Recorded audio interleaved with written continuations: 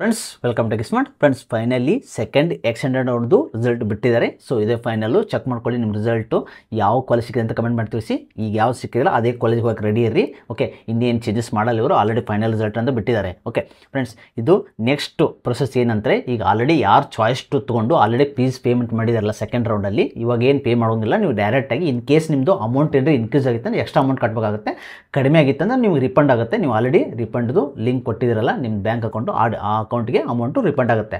ಅಷ್ಟೇ, ಈಗ ನೀವು ನೆಕ್ಸ್ಟ್ ಏನಂದರೆ ಚಾಯ್ಸ್ ಟು ತೊಗೊಂಡು ಯಾರು ಆಲ್ರೆಡಿ ಪೇಮೆಂಟ್ ಮಾಡಿದವ್ರಿಗೆ ನೆಕ್ಸ್ಟ್ ಪ್ರೊಸೀಜರ್ ಏನಂದರೆ, ನೀವು ಜಸ್ಟು ಅಡ್ಮಿಷನ್ ಆರ್ಡರ್ ಡೌನ್ ಮಾಡ್ಕೋಬೇಕು ಕಾಲೇಜ್ಗೆ ರಿಪೋರ್ಟ್ ಮಾಡ್ಕೋಬೇಕು. ಅಡ್ಮಿಷನ್ ಆರ್ಡರ್ ಮಾಡ್ಕೋಕ್ಕೆ ಲಿಂಕ್ ಬಿಡ್ತಾರೆ ವೇಟ್ ಮಾಡಿ, ಇನ್ನೂ ಬಿಟ್ಟಿಲ್ಲ, ಯಾಕಂದ್ರೆ ನೀವು ಶೆಡ್ಯೂಲ್ ಬಿಡ್ತಾರೆ ಅಂತ ಹೇಳಿದ್ದಾರೆ. ಹಳೆ ಹಳೆಯದ ಪ್ರಕಾರ ಆಲ್ರೆಡಿ ನಿನ್ನಿಂದ ಸ್ಟಾರ್ಟ್ ಆಗಬೇಕಿತ್ತು.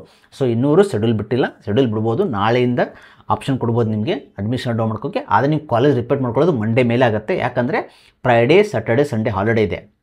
ಸೊ ನೀವು ಮಂಡೇಲೇ ಮಂಡೇನೇ ಹೋಗಬೇಕಾಗತ್ತೆ. ಮಂಡೇ ಕಾಲೇಜ್ ಹೋಗಿ ರಿಪೋರ್ಟ್ ಮಾಡ್ಕೋದಾಗುತ್ತೆ. ಆಲ್ಮೋಸ್ಟ್ ಎಲ್ಲರೂ ಅದೇ ಆಗುತ್ತೆ. ಯಾಕಂದರೆ ಇನ್ ಕೇಸ್ ಇವತ್ತು ಬಿಟ್ಟರೆ ಇವತ್ತು ನಾಳೆ ಯಾರಾದರೂ ಪೇಮೆಂಟ್ ಯಾರು ಮಾಡಿಲ್ಲ ಅವ್ರು ಮಾಡ್ಕೋಬೋದು. ಇವತ್ತು ಬಿಟ್ಟರೆ ಆಪ್ಷನ್ ಎಂಟ್ರಿ ಅಂದರೆ ಚಾಯ್ಸ್ ಎಂಟ್ರಿ ಅಂದರೆ ಸಾರಿ ಪೇಮೆಂಟ್ ಮಾಡೋಕ್ಕೆ ಲಿಂಕು ಬಿಟ್ಟರೆ ಪೇಮೆಂಟ್ ಮಾಡ್ಕೋದು ಇವತ್ತು ನಾಳೆ, ಮತ್ತು ಫ್ರೈಡೇ ಹೋಗಿ ನೀವು ಕಾಲೇಜ್ಗೆ ರಿಪೋರ್ಟ್ ಮಾಡ್ಕೋಬೋದು. ಓಕೆ ಫಿಫ್ಟೀನ್ತ್ ಒಳಗಡೆ ಅಲ್ವಾ? ಫ್ರೈಡೇ ನೀವು ಮಂಡೇ ಹೋಗಿ ಆರಾಮ್ಸೆ ನೀವು ರಿಪೋರ್ಟ್ ಮಾಡ್ಕೋಬೋದು. ಇಷ್ಟೇ ಪ್ರೊಸೀಜರ್ ಇವಾಗ. ಜಸ್ಟ್ ರಿಪೋರ್ಟ್ ಮಾಡ್ಕೋಬೇಕು. ರಿಪೋರ್ಟ್ ಮಾಡ್ಕೋವಾಗ ಕಾಲೇಜಲ್ಲಿ ಏನೇನು ಬೇಕಂದ್ರೆ ಡಾಕ್ಯುಮೆಂಟ್ಸು ನೀವು ಏನು ಆನ್ಲೈನ್ ಅಪ್ಲಿಕೇಶನ್ ಫಾರ್ಮಲ್ಲಿ ಅಪ್ಲೋಡ್ ಮಾಡಿದ್ದಾರೆ ಡಾಕ್ಯುಮೆಂಟ್ಸು, ಅವೆಲ್ಲ original with two set xerox attestation ಇರಬೇಕು. ಅಟೆಸ್ಟೇಷನ್ ಮಾಡ್ಕೊಳ್ಳಿ. ಯಾರಾದರೂ ಗೆಜೆಟೆಡ್ ಅಧಿಕಾರಿಗಳಿಂದ ಅಟೆಸ್ಟೇಷನ್ ಮಾಡಿಕೊಂಡು ಅವ್ನಿಗೆ ಕಾಲೇಜಿಗೆ ಕೊಡಬೇಕಾಗುತ್ತೆ. ಒಂದು ಮೂರರಿಂದ ನಾಲ್ಕು ಸೆಟ್ ಇಟ್ಕೊಳ್ಳಿ. ಯಾಕಂದರೆ ಒರಿಜಿನಲ್ ಅವ್ರು ಇಟ್ಕೋತಾರೆ ಕಾಲೇಜಲ್ಲಿ ಅದಕ್ಕೋಸ್ಕರ ನಿಮ್ಮ ಹತ್ರ ಇರಲಿ ಒರಿಜಿನಲ್ಸು. ಅಂದರೆ ಅಟೆಸ್ಟೇಷನ್ ಇರಲಿ ನಿಮ್ಮ ಹತ್ರ ಒಂದು ಆರ್ ಟೂ ಸೆಟ್ಟು, ಯಾಕಂದ್ರೆ ಸ್ಕಾಲರ್ಶಿಪ್ ಎಲ್ಲ ಬೇಕಾಗುತ್ತೆ. ಆಮೇಲೆ ಒರಿಜಿನಲ್ ಡಾಕ್ಯುಮೆಂಟ್ಸ್ ಎಲ್ಲನೂ ಸ್ಕ್ಯಾನ್ ಮಾಡಿ ಇಟ್ಕೊಳ್ಳಿ ನಿಮ್ಗೆ ನಿಮ್ಮ ಹತ್ರ. ಮೊಬೈಲ್ ಸೇವ್ ಮಾಡಿ ಇಟ್ಕೊಳ್ಳಿ. ಅದು ಫ್ಯೂಚರ್ ಯೂಸ್ ಆಗುತ್ತೆ.